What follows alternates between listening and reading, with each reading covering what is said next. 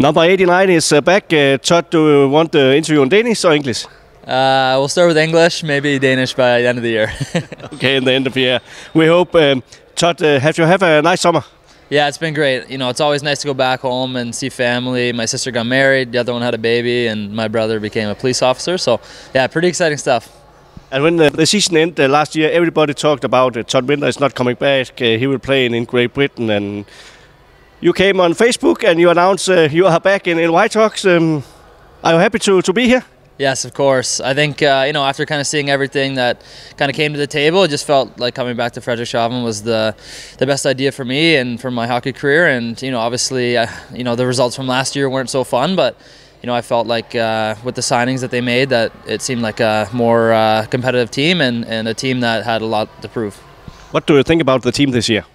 Yeah, I think we'll be. I think we'll be a lot better. I think uh, you know, the, the biggest thing is that we need to have a good start off the bat, right? You know, losing 12 in a row wasn't wasn't good, and we need to have a good start. And I think you know if we can get some chemistry going in these next uh, over the next month in training camp, then we could have a great start to the year. Then I think it'll be a lot better.